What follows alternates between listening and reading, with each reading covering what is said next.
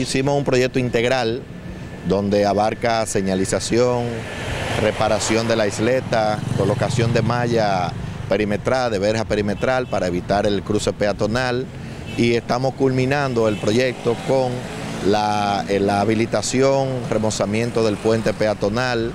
Este se le van a hacer trabajos técnicos como colocarle un nuevo desagüe a, los descansos de la escalera, la pintura, pulido y pintura de las estructuras metálicas completas, llámese la verja de la escalera, la caja de la escalera y la propia baranda del puente y soporte.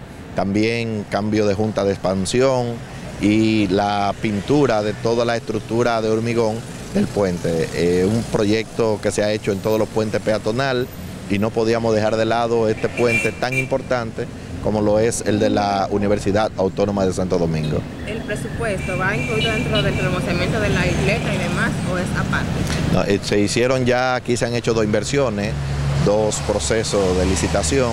El primero contempló lo que fue el remozamiento, rehabilitación de la isleta y la colocación de 50 metros de malla. Y el segundo proyecto, con un monto de 480 mil pesos, conlleva la instalación de 150 metros de mallas, también la pintura y remozamiento del puente. ¿Va incluido en ese... En ese proyecto de presupuesto, claro que sí.